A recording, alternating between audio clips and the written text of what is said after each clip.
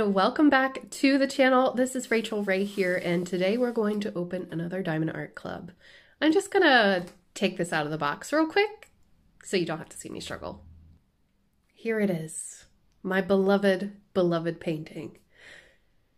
There's a little backstory on this. This diamond painting, I'll tell you all about it. I'll show you what it is as well. I have wanted this since it first came out. It was the biggest diamond painting I had ever wanted. And boy, is it heavy. It is The Enchanted Forest by Andreas Rocha. This particular artist is incredible. I will try to link him down below as well so you can check out his website. He does kind of like game backgrounds and stills and things like that. He's very, very talented. This is a 165 by 55. I don't think I can even get it in a wide angle frame. So this is heavy, heavy. Um, I, I am speechless. So this diamond painting, uh, it first appeared, I want to say late last year on the website. I might be wrong but it was a while ago, and it went out of stock pretty quickly. Um, and all summer, I remember talking to Diamond Art Club whenever we'd have an interaction with something or they'd ask me a question. I remember asking them almost every time each month is this is the enchanted forest coming back into stock when is it coming back into stock i need it in my life well, it's back. And it's to be awesome. Ooh, and it's the new packaging. The drills are stuck. Okay, there's the... So I'll just put that to the side. This is a square kit. There are no ABs that I know of, but I might put some in. Um, it, the toolkit comes with tweezers as well as the pen, the wax, the squishy, the baggies, and the clear tray. Really nice. Not going to open it. Don't need to. It, oh no, my sticker. Oh no. it's okay. It's not the end of the world. It got caught on my baggies. Holy cow. That is all 310 and 3371. oh no. I think that's 310. Or it might be a gray. All right, so here is the painting. Gorgeous. Isn't it like Lord of the Rings? Any kind of, you know, RPG gamer fan would probably love this. So if you have a gamer in your family or maybe a significant other, this one would definitely be the one to go for, I think. Gorgeous. I love this picture. It's so mossy and green, you know? So I'll put the drills there. I have a feeling that this painting is going to be great for people who like color blocking. So if you're a fan of the multiplacer, uh, I'm guessing this is going to be the one. Because I think, let me see, what does it say on the box? Square. Okay, it doesn't say yet. Hold on, we'll get there. We'll get there. Let's let's get in there. Oh, sure, it says it down here. 28 colors.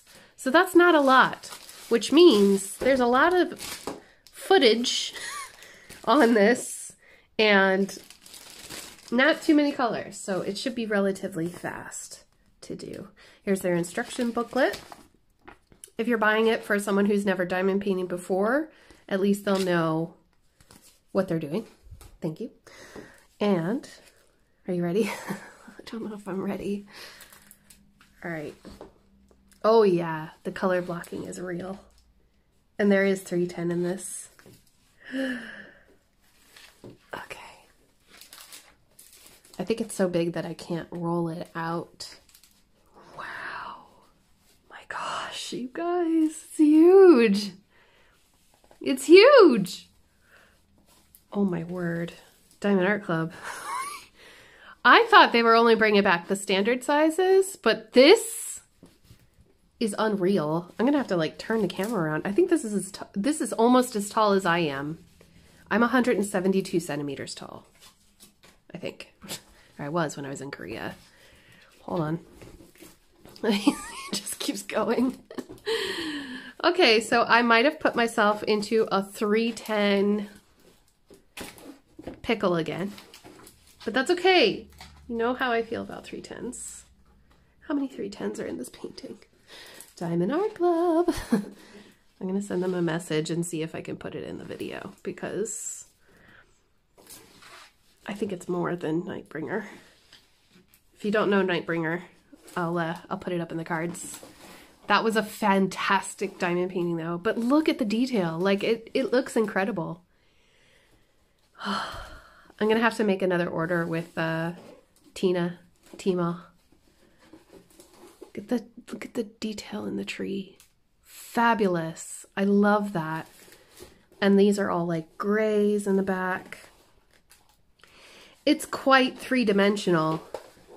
I really, really enjoy this. Wow. That is awesome. What? It's so big. it's actually so big. All right, I'm going to just keep saying that um, the whole time.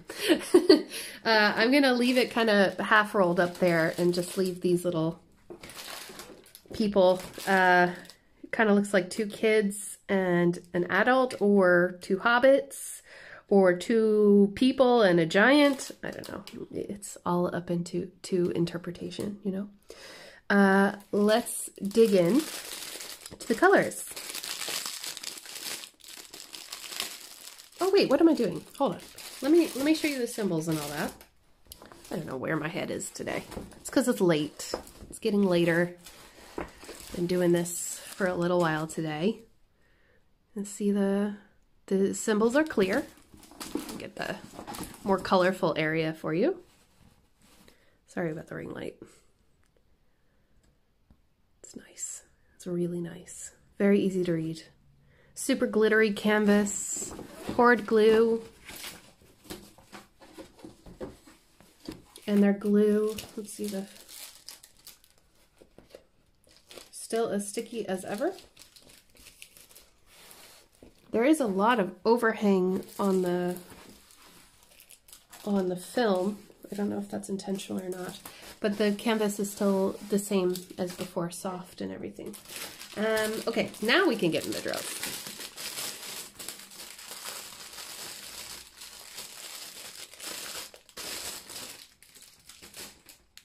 Okay, I'm looking very carefully at how they packaged this so that I can attempt to put them back that way. um, I think this whole strand is 3371, which is a dark brown. This one, same, 3371. Oh, and then there's 938, which is a lighter brown. 37.99, which is that gray color in the background. And then 934, which is like a dark olive color green. And I'm gonna leave it like this and not do my normal thing because this one is the bulky one. Getting it back in the bag is gonna take me a second, so I'll be right back. Whew. Okay, lucky for me, that didn't take too long. It's not as condensed as they had it, but that's the best I can do. I like to store the drills with the painting.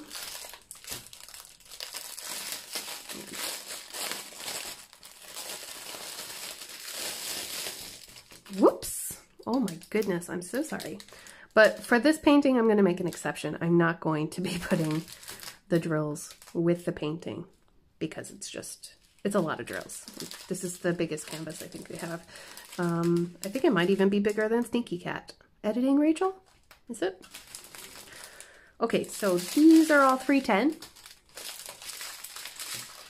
We have 30, oh, sorry, you can't even see. 3787. These are kind of like, kind of greenish brown. Seven thirty-two. Just another olivey type. 838, 844, 433, and 3021. And then the colors. 939, 470, 937, which look very, very similar. That's just one shade darker. 645, 733, 640, 838, 166. Interesting. 839, 841. Ooh, look how neon that looks. That's cool. That must be for the really bright areas. And then these little ones. Excellent. Well, it's a very earth toned painting. I knew that going into it, but I think it's going to look fab. Um, it's very, I don't know, it kind of evokes Ireland to me as well. I'm going to turn this back off. So I really, I really enjoy paintings that can connect me and what I'm doing to Ireland as well. It's, you know, it's nice. It's nice to, to pay homage to the place that you live. But it is massive. It's, I mean, 55 centimeters in, in height, but it's 155 long. So this will be a long project, but if you look closely at it, there's a lot of areas of color blocking. So using the wheel tool or using a multi-placer would be a definite on this canvas just to help push the project along because otherwise I think it would just take a probably probably a really long time. Can you imagine cross stitching this? I bet you could. Anyway, I'm going on. If you would like to get this painting, I will have it linked down below in the description box of the video. So check that out. I also have a referral code if you would like to save a little bit of money. Um, and that's it for me. Thank you so much for watching this video. If you liked it, please give me a thumbs up. And I hope you all have a wonderful day, a wonderful week, and I'll see you all in the next video. Take care, everybody. Bye.